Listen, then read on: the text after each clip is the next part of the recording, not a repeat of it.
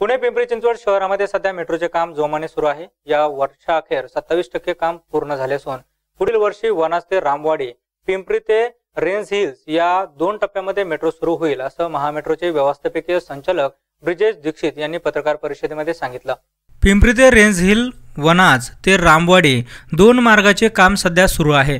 Nagpur मेट्रोसोबतच पुण्यातही metro सुरू करण्याचा मानस महामेट्रोचा असून सध्या पहिल्या टप्प्यामध्ये पिंपरी ते रेन्स हिल्स आणि वनाज ते रामवाडी या दोन्ही मार्गावरती पुढील वर्षी मेट्रो सुरू होईल.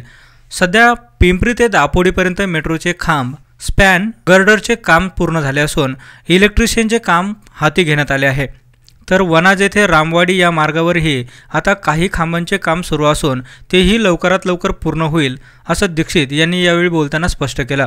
में हम लोगों ने 27 परसेंट से ज़्यादा प्रोग्रेस पुणे मेट्रो में करने में सफलता पाई है।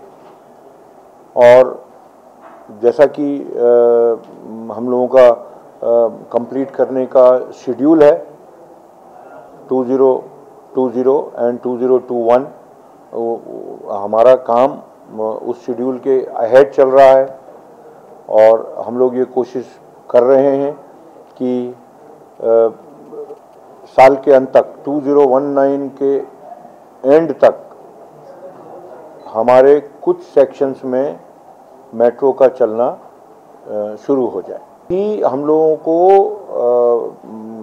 सेंट्रल गवर्नमेंट के और महाराष्ट्र गवर्नमेंट के बजट से फंड मिल रहा है और हमारा काम बिना किसी अड़चन के चल रहा है। मगर हम लोगों के डीपीआर के हिसाब से जो फंडिंग एक्सटर्नल एजेंसी से आनी है फ्रांस और यूरोपियन इन्वेस्टमेंट बैंक से, उसके लिए हम लोगों के एग्रीमेंट तैयार हैं और मंथ ऑफ़ जनवरी या फरवरी में ये दोनों एग्रीमेंट उनके साथ साइन हो जाएँगे। और जब जब भी हमको फिर उसके आगे जब ज़रूरत पड़ेगी फंड की तो वो फंड उनसे भी आना शुरू हो जाएँगे। कसबा परिसरामध्ये मेट्रोचे स्टेशन होणार असून त्या ठिकाणी ज्या लोकांना विस्थापित व्हावे लागत आहे अशा लोकांना पक्की घरे अथवा रोख रक्कम ही कायद्यानुसार दिली जाणार असून काही लोकांनी याबाबत सकारात्मक प्रतिसाद दिला आहे. तसेच शहरात इतरही मार्गावरती मेट्रो सुरू करण्याकरता डी पी आर तयार करण्याचे काम सुरू असून याकरता जे आर्थिक मदत लागणार आहे त्यासाठी युरोपियन बँक फ्रान्समधील काही कंपन्यांसोबत चर्चा सुरू असून याबाबत लवकरच करार करण्यात येणार आहे, असं ब्रिजेश दीक्षित यांनी स्पष्ट केलं. कस्बा में कुछ लोगों ने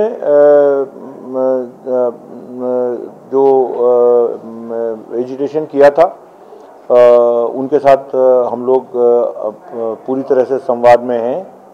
और जैसा कि आप जानते हैं